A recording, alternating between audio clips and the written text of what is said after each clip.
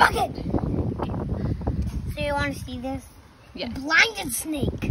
It's a Puerto Rico blinded snake. I found two of these. We're very lucky to find one because guess what? They're rarely found. People could go through their whole Puerto Rico life not finding these. No one ever sees him because he burrows like a worm too fast. So why do they call it a worm snake?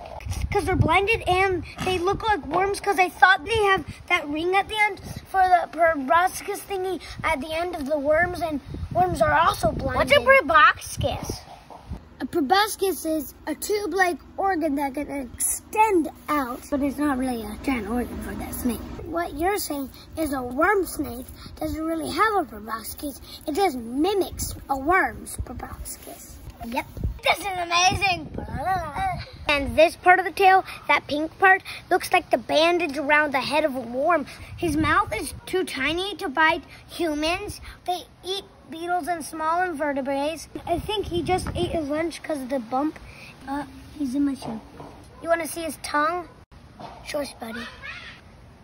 And let's go Also, put him back in the I wild. think these guys are nocturnal and diurnal and sleep during the day and night. Nice. We think that. Remember this, kids at home. If you see a snake, run away and go get an adult's help. They might be venomous and bite you and kill you, maybe. And here's a little tip. If the snake's head is oval like this, that means you can pick it up if you pick it up right here on the neck.